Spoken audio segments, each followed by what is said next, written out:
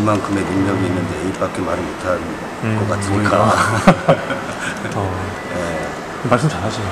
네? 말씀 잘하시네요. 아니 이렇게 편하게는 하는데 어. 그거 뭐 아까도 카메라 그냥 사진 찍고 표정 막 찍고 그러니까 어, 근데 그냥 그 그런 ENG. 카메라도 괜찮으세요?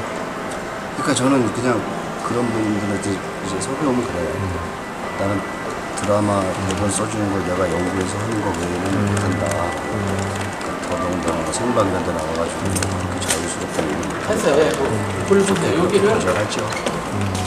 저 지금까지 정말 한 번도. 이제 뭐 데뷔해가지고 뭐 초창기에 뭐 드라마 홍보 차원에서 뭐 주연들끼리 나가서 뭐 아, 드라마 얘기하고 이러는 걸 하는데 근데 그 후로도 이제는 뭐 나이 들어서 뭐 내가 드라마 홍보 때문에 나갈 위치가 아니니까 배역이나 이런 게 15년 된것 같아요. 안 진짜. 나간다. 그래서 마왕 때는 이제 착한 사무장을 했어요 네. 근데 지금 뭐 찬원 감독님도 그렇고 나도 그렇고 물론 뭐, 뭐 내가 뭐 그 역할을 아주 못한 건 아니지만 네, 네. 재미가 없잖아요. 해보니까. 현, 현장에서 또 역할에 빠지, 빠지면 그 분위기에 타잖아요. 그렇죠.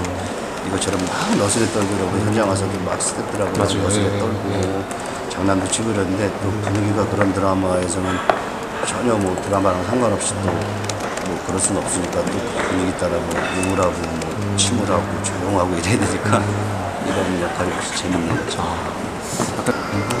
일을 하는 많지만 그냥 현장에서 행복하게 네, 좋은 작품 많이 하고 싶은 게 바람이죠. 더, 더 욕심을 이제 그냥 다양한 역할을 하고 싶고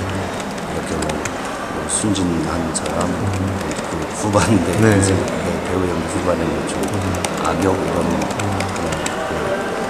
그 흑백 논리가 분명한 이런 것보다 다양한 연 어, 역할을 하고 싶은